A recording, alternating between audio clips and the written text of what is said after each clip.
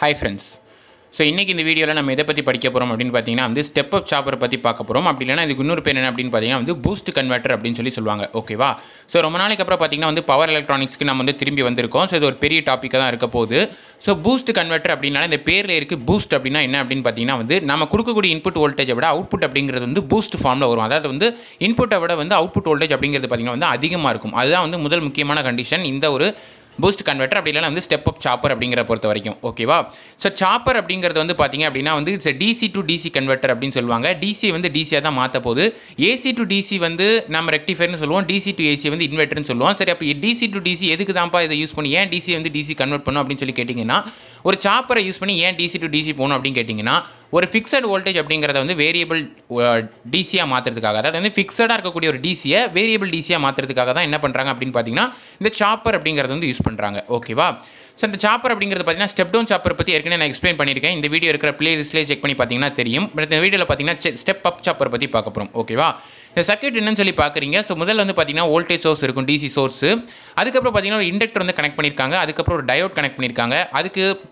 அடுத்தபடியாக பார்த்தீங்கன்னா ஒரு கெப்பாசிட்டர் இருக்குது இந்த கெப்பாசிட்டருக்கு பேரலாக பார்த்தீங்கன்னா ஒரு லோடு வந்து கனெக்ட் பண்ணியிருக்காங்க ஓகேவா இப்போ இந்த இடத்துல என்ன வச்சிருக்காங்க அப்படின்னு பார்த்தீங்கன்னா ஸ்விட்ச் அப்படிங்கிறது வந்து வச்சிருக்காங்க. ஓகேவா இந்த ஸ்விட்ச் அப்படிங்கிறது பார்த்தீங்கன்னா வந்து நம்ம ஆன் ஆஃப் கண்ட்ரோல் பண்ண போகிறோம் இந்த ஸ்விட்சை வந்து நம்ம ஆன் அல்லது வந்து ஆஃப் கண்ட்ரோல் பண்ணுறது மூலமாக அந்த சர்க்யூட்டை நம்ம வந்து ஒர்க் பண்ண வைக்க போகிறோம் ஓகேவா இந்த ஆன் ஆஃப் கண்ட்ரோல் அப்படிங்கிறத பண்ணுறதுக்கு முன்னாடி இந்த ஸ்விட்ச் என்ன டைப் ஆஃப் ஸ்விட்ச் அப்படின்னு பார்த்தீங்கன்னா அந்த எஸ்எஸ்டி அதாவது சாலிட் ஸ்டேட் டிரைவுக்குரிய ஸ்விட்சாக இருக்கணும். அதாவது வந்து இந்த மாஸ்பெட்டாக இருக்கலாம் அல்லது வந்து இந்த ஐஜிபிடியாக இருக்கலாம் அந்த மாதிரி டைப் ஆஃப் சுவிச்சஸாக இருக்கணும். ஓகேவா ஸோ தட் அது வந்து என்ன அப்படின்னு பார்த்தீங்கன்னா ஆன் ஆஃப் ஆப்ரேஷன் நம்மளால் வந்து அதில் வந்து ரொம்ப குயிக்காக ரொம்ப அட்வான்டேஜஸாக பண்ண முடியுங்கிறதுக்காக நான் சொன்னேன். ஓகேவா ஸோ இந்த ஆன் ஆஃப் பொசிஷன் அப்படிங்கிறது பார்த்தீங்கன்னா நம்ம எந்த டெக்னிக்கில் பண்ணலாம் அப்படின்னு கேட்டிங்கன்னா பிடபிள்யூஎம் அப்படின்னு சொல்லுவாங்க. அதாவது வந்து பல்ஸ் வித் மாடுலேஷன் அப்படின்னு சொல்லி சொல்லுவாங்க. ஓகேவா பல்ஸ் வித் மாடுலேஷனா என்ன அப்படின்னு பார்த்தீங்கன்னா பல்ஸ் அப்படிங்கிறது ஒரு வேவ் ஃபார்ம் ஒரு வேவ் ஃபார்ம் அப்படிங்கிறத பார்த்தீங்கன்னா அதோட வித்தை வந்து வேரி பண்ணுறது ஒரு டெக்னிக் அதாவது வந்து எப்படி சொல்கிறது அப்படின்னு பார்த்தீங்கன்னா அந்த வேவோட வித்தை வந்து வேரி பண்ணுறது மூலமாக நம்ம ஆன் டைமை வந்து இன்க்ரீஸ் பண்ணலாம். அப்படி இல்லைனா வந்து ஆஃப் டைம் வந்து இன்க்ரீஸ் பண்ணலாம். அல்லது வேறு என்ன டைப் ஆஃப் ப்ராசஸ் நம்ம அந்த வித்தில் பண்ணணுமோ வித்தை வந்து இம்ப்ரூவ் பண்ணணுமா அல்லது வந்து டிக்ரீஸ் பண்ணணுமாங்கிறத யூஸ் பண்ணுறதா என்ன அப்படின்னு பார்த்தீங்கன்னா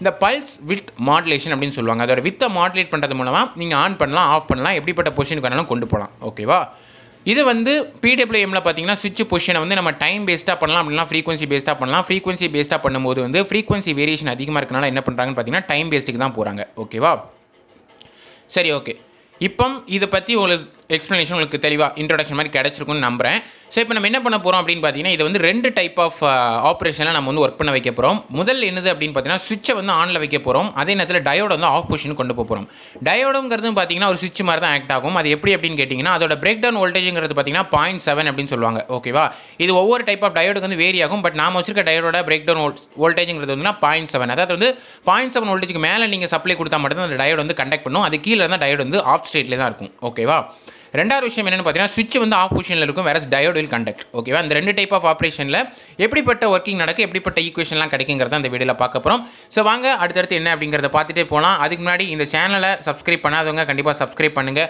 ஸோ அதை தினமும் நான் போஸ்ட் பண்ணுற ஒவ்வொரு வீடியோஸ் உங்களுக்கு வந்து சேர்ந்துங்கிறத நான் சொல்லிக்கிறேன். ஸோ இப்போ பார்க்குறீங்க முதல் கண்டிஷன் பார்த்தீங்கன்னா வந்து சுவிட்சை வந்து க்ளோஸ் பண்ணியிருக்காங்க சுவிட்சை க்ளோஸ் பண்ணுறப்போ என்ன நடக்குது அப்படின்னு பார்த்தீங்கன்னா டயோடு வந்து ஆஃப் கண்டிஷனுக்கு போயிடுது ஓகேவா காரணம் என்ன அப்படின்னு பார்த்தீங்கன்னா இந்த டயோடையும் சுவிட்சையும் கம்பேர் பண்ணி பார்த்தீங்கன்னா சுவிட்சோட ரெசிஸ்டன்ஸ் பாத் அப்படிங்கிறது வந்து ரொம்ப கம்மி. So current will always choose the low resistance path அப்படிங்கிறது எல்லாருக்குமே தெரியும் கரெக்டாக ஸோ அதனால் என்ன ஆகும் அப்படின்னு பார்த்தீங்கன்னா லோ ரெசிஸ்டன்ஸ் உள்ள இந்த சுவிட்ச் வழியாக தான் வந்து கரண்ட் வந்து ஃப்ளோ ஆக ஆரம்பிக்கும். சரிங்களா?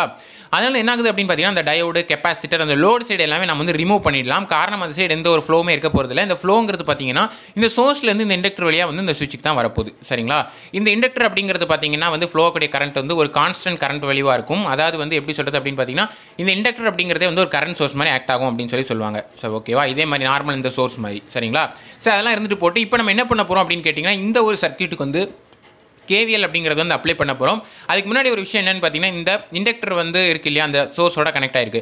இந்த சோர்ஸ்லேருந்து வரக்கூடிய கரண்ட் என்ன பண்ணும் அப்படின்னு பார்த்தீங்கன்னா இந்த இண்டக்டரில் வந்து போய் மேக்னெட்டிக் ஃபீல்ட் ஆஃப் எனர்ஜியாக வந்து ஸ்டோர் ஆகும். It will store the energy இந்த ஃபார்ம் ஆஃப் மேக்னெட்டிக் ஃபீல்ட் அப்படின்னு சொல்லி சொல்லுவோம் இண்டக்டரை பொறுத்த வரைக்கும். கரெக்டாக ஸோ அந்த மாதிரி வந்து எனர்ஜி வந்து ஸ்டோர் ஆகுது. ஸோ அதுக்கான ஒரு கேவிஎல் ஈக்குவேஷன் போட்டோம் அப்படின்னு சொன்னால் so voltage rise is equal to voltage drop அப்படிங்கிறதான் கேவிலோட ஈக்குவேஷன் அதான் வந்து ரூல் ஓகேவா ரைஸ் அப்படிங்கிறது பார்த்தீங்கன்னா அந்த சோர்ஸ் வந்து ரைஸ் காரணம். அதாவது நம்ம ரைஸ்னு எடுத்துக்கலாம் ட்ராப்னு எடுத்துக்கலாம் பட் நான் சோர்ஸ் வந்து ரைஸ் அப்படின்னு சொல்லி எடுத்துக்கிறேன். ஏன் அப்படின்னா சோர்ஸ் வந்து அதிகப்படியான சப்ளை கொடுத்துக்கிட்டே இருக்கல அதனால் வந்து நான் ரைஸ் அப்படின்னு சொல்லி எடுத்துக்கிறேன் விஇன் இதில் ட்ராப் ஆகக்கூடிய வோல்டேஜுங்கிறத நான் வந்து விஎல் அப்படின்னு சொல்லி எடுத்துக்கிறேன். So V in is equal to விஎல்ங்கிறத பார்த்தீங்கன்னா கேவில் ஈக்குவேஷன் ஓகேவா சுவிட்சில் எந்த வோல்டேஜுமே மோஸ்ட் ப்ராப்ளம் இருக்காது ஏன்னா சுவிட்ச் வந்து லோ ரெசிஸ்டன்ஸ் பார்த்து so high magnitude of current வந்து அங்கே ஃப்ளோ ஆகிற காரணத்தால வோல்டேஜ் வந்து ரொம்ப கம்மியாக இருக்கும். ஸோ அதை நம்ம நெக்லெக்ட் பண்ணிடலாம்.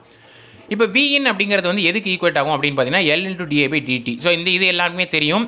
வோல்டேஜ் அக்ராஸ் இண்டக்டரோட ஃபார்முலா வந்து இதுதான் L into di by dt di by டிடிங்கிறது பார்த்தீங்கன்னா ஸோ வேரியிங் இன் கரண்ட் அதாவது வந்து என்ன ஆகுது அப்படின்னு பார்த்தீங்கன்னா ஒவ்வொரு தடவை ஜீரோலேருந்து ஒரு லெவல் வரைக்கும் போய் இந்த இண்டக்டர் அப்படிங்கிறது பார்த்தீங்கன்னா வந்து மேக்னெட்டிக் எனர்ஜி வந்து ஸ்டோர் பண்ணி வைக்குது. கரெக்டாக ஸோ ஜீரோலேருந்து ஒரு லெவலுக்கு பீக் ஓல்டு அதாவது வந்து எப்படி சொல்கிறது ஒரு லீனியராக வந்து இன்க்ரீஸ் ஆகிற காரணத்தினால நம்ம வேரியிங் குவான்டிட்டியாக எடுத்துருக்கோம். டிஏபிடிடி இது ஃபார்முலா பேசிக்கான விஷயம் எல்லாருக்குமே தெரியும். ஸோ இந்த டிஐ பை டிடிங்கிறது எப்படி எழுதுறாங்க அப்படின்னு பார்த்தீங்கன்னா del IL develop by del T அப்படின்னு எழுதுறாங்க. டெல்லுங்கிறது வேரியேஷன் தான் ரெப்ரசென்ட் பண்ணுது. ஸோ இந்த மாதிரி எழுதிட்டு என்ன பண்ணுறாங்கன்னா விஇன் பை எல் அப்படின்னு சொல்லி எழுதுறாங்க. அந்த எல்லை வந்து கீழே கொண்டு வந்துருவாங்க. இந்த டிஏபி டிடி இந்த ஃபார்மில் எழுதியிருக்காங்க. ஓகேவா ஸோ இதில் என்ன அப்படின்னு பார்த்தீங்கன்னா நமக்கு total time period is equal to T on plus T off அப்படின்னு சொல்லி சொல்லுவாங்க. இந்த ஈக்குவேஷன் ரொம்ப ரொம்ப முக்கியம். ஓகேவா அதை கண்டிப்பாக வந்து ஞாபகம் வச்சுக்கோங்க. என்ன ஈக்குவேஷன் அப்படின்னு பார்த்தீங்கன்னா total time period is equal to T on plus T off இந்த கண்டிஷனில் பார்த்தீங்கன்னா ஸ்விட்சுங்கிறது வந்து க்ளோஸ் பொசிஷனில் இருக்குது கரெக்டாக ஸோ அதனால் வந்து என்ன ஆகும் அப்படின்னு பார்த்தீங்கன்னா வந்து ஆன் டைம் ஆனில் தான் இருக்குன்னு அர்த்தம் இல்லையா? So on time plus off time எவ்வளோ நேரம் இருக்கும்? அதுதான் டோட்டல் டைம் பீரியட் இது ஒரு ஃபார்முலா ரெண்டாவது ஃபார்முலா என்னென்னு பார்த்தீங்கன்னா டியூட்டி சைக்கிள் அப்படின்னு சொல்லுவாங்க. Duty cycle capital D is equal to T on divided by T அப்படின்னு சொல்லி சொல்லுவாங்க. இந்த ரெண்டு ஃபார்முலா கண்டிப்பாக மைண்டில் வச்சுக்கோங்க. நம்ம சப்ஸ்டியூட் பண்ணுறதுக்கு நமக்காக வந்து ஈஸியாக இருக்கும். இந்த மைண்டில் வச்சுக்கிட்டிங்கன்னா ஓகேவா ஸோ டெல் ஐஎல் அப்படிங்கிறது என்ன பண்ணுறாங்க அப்படின்னு பார்த்தீங்கன்னா டெல் டி அப்படிங்கிறது இஸ் ஈக்குவல் டு டிடி அப்படின்னு சொல்லி எடுக்கிறாங்க. காரணம் என்ன அப்படின்னு பார்த்தீங்கன்னா டி இன்ட்டு டி இந்த டி இங்கே கொண்டு வந்துட்டாங்க. டீயான வந்து என்ன பண்ணுறாங்கன்னா டெல் டிக்கு வந்து ஈக்குவேட் பண்ணுறாங்க காரணம் என்னன்னா அந்த சுவிட்ச் வந்து க்ளோஸ்ட் பொசிஷனில் இருக்குது ஸோ ஆன் டைமை மட்டும் எடுக்கும்போது என்ன ஆகுதுன்னு பார்த்தீங்கன்னா T on is equal to டிடின்னு வந்துட்டு. ஸோ டெல் டியை இந்த சைடு கொண்டு வரும்போது டிடின்னு மாற்றிட்டு del I L closed duration is equal to V in divide by L into DT அப்படின்னு சொல்லி எடுத்துடுறாங்க. ஓகேவா இதுதான் என்ன அப்படின்னு பார்த்தீங்கன்னா சுவிட்ச் வந்து க்ளோஸ் பொசிஷன் அதாவது வந்து ஆன் டைமில் அதாவது எப்படி சொல்கிறதுனா சுவிட்ச் க்ளோஸாக இருக்கும்போது கண்டிப்பாக ஒரு கண்டக்டிவ் பார்த்துங்க இருக்குன்னு அர்த்தம். ஸோ அந்த டைமில் இருக்கக்கூடிய இண்டக்டரில் வேரி கூடிய அந்த கரண்ட் அப்படிங்கிறது பார்த்தீங்கன்னா இந்த மாதிரி தான் இருக்கும். இதான் அதோட எக்ஸ்பிரஷனுங்கிறத தெரிஞ்சுக்கோங்க. ஓகேவா ஸோ வாங்க ரெண்டாவது கண்டிஷன் எப்படி இருக்காது அப்படிங்கிறத பார்க்கலாம்.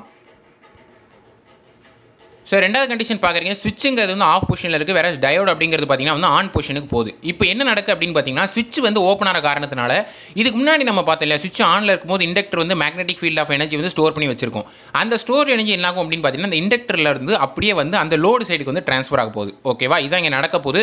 இங்கே ட்ரான்ஸ்ஃபர் ஆகும்போது எப்படிப்பட்ட ஒர்க்கிங் நடக்கு அப்படிங்கிறத பார்க்கலாம். ஸோ முதல் விஷயம் என்ன அப்படின்னு பார்த்தீங்கன்னா எப்போதுமே நான் வந்து கேவியல் அப்ளை பண்ணிடலாம். ஓகேவா கேவிஎல் அப்படிங்கிறது பார்த்தீங்கன்னா V in is equal to VL plus V naught அப்படின்னு சொல்லி எடுக்கிறாங்க. இதுக்காக வந்து எப்படி அப்படின்னு சொல்லி கேட்டிங்கன்னா ஆக்சுவலாக வந்து இப்போ இன்ஜெக்டரில் உள்ள எனர்ஜிங்கிறது வந்து லோடு சைடு ட்ரான்ஸ்ஃபர் ஆகும்போது இதோட பொலாரிட்டிங்கிறது வந்து ரிவர்ஸ் ஆகும். அதை முதல்ல தெரிஞ்சுக்கோங்க. ஓகேவா ஏன்னா சார்ஜ் ஆகும்போது இது வந்து ஸ்டோர் பண்ணும்.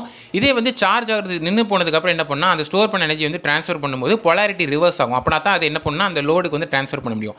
பட் நம்ம அனாலிசிஸ்க்காக என்ன பண்ணுறோம் அப்படின்னு கேட்டிங்கன்னா கேவிஎல்ல வந்து நம்ம இது ட்ராப் அப்படின்னு சொல்லி எடுத்துக்கிறோம். ஓகேவா போன இதில் ட்ராப்னு எடுத்துருப்போம். இந்த இதில் ரைஸ் தான் ஆக்சுவலி எடுக்கணும். பட் நம்ம அனாலிசிஸ்க்காக என்ன பண்ணுறோம் அப்படின்னு பார்த்தீங்கன்னா இதை நம்ம ட்ராப்னு அசியூம் பண்ணி எடுக்கலாம். நம்ம எப்படி வேணாலும் எடுக்கலாம். ஒரு இதை ரைஸ்னு எடுக்கலாம் ட்ராப்னு எடுக்கலாம். அது நம்ம இஷ்டம் தான். ஓகேவா பட் அந்த அனாலிசிஸ் அப்படிங்கிறத நம்ம கரெக்டாக பண்ணுங்கிறதா ஒரு முக்கியமான விஷயமே தவிர நாம ரைஸ் ட்ராப்ன்றதை எப்படி வேணாலும் மாற்றி எடுத்துக்கலாம். நான் இங்கே இந்த சோர்ஸை மட்டும் நான் ரைஸ்னு எடுத்துக்கிறேன். மெத்த ரெண்டு ட்ராப்னு எடுத்துக்கிறேன். விஎலுங்கிறது நான் ட்ராப்னு எடுத்துக்கிறேன். டயோடுக்கு அக்ராஸ் உள்ள வோல்டேஜ் வந்து ரொம்ப கம்மியாக இருக்கனால நம்ம என்ன பண்ணிக்கலாம் அப்படின்னா அதில் வந்து நெக்லெக்ட் பண்ணிக்கலாம். ஏன்னா டயோடு வந்து கண்டக்ட் பண்ணிச்சுன்னா வோல்டேஜ் என்ன ஆகும்னா வந்து குறையும். கரெக்டாக அண்ட் ஆல்சோ வந்து அந்த அது அவ்வளோ பெரிய எஃபெக்ட் ஏற்படுத்த போகிறது இல்லை அந்த ஈக்குவேஷனில் ஸோ அதனால் நம்ம அந்த டயோடு வோல்டேஜை நம்ம நெக்லெக்ட் பண்ணிடலாம். ப்ளஸ் இந்த voltage so voltage across a capacitor voltage across a capacitor is equal to voltage across a load so which is equal to V naught அப்படின்னு சொல்லுவாங்க. So V in is equal to VL plus V naught அப்படின்னு சொல்லி equation எடுத்தாச்சு.